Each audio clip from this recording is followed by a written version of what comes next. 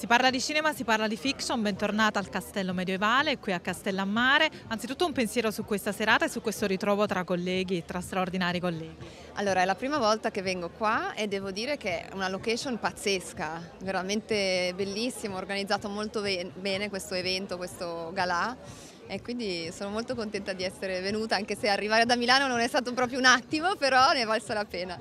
Sarai premiata questa sera? Sì, un premio speciale cinema e moda. E la moda cosa rappresenta per te? Per un'attrice è sempre importante, no? Che rapporto hai con la moda?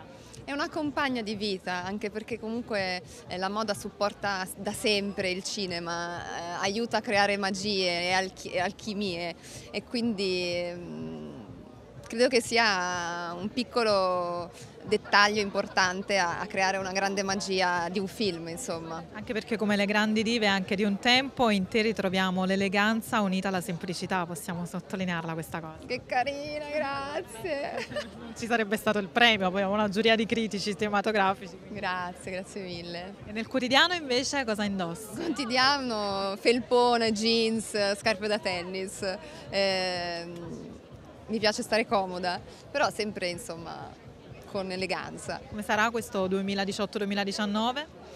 Allora, eh, di nuovo c'è che ho aperto una casa di produzione cinematografica e quindi stiamo lavorando su dei progetti e um, l'estate del 2019 inizieremo le riprese del nostro primo film come casa di produzione che si chiama Silver Productions e quindi eh, insomma non vedo l'ora perché è un, un nuovo inizio. Eh, eh, complementare a quello insomma, del, del, ruolo di attrice che sì. crepi crepi o anzi viva il lupo.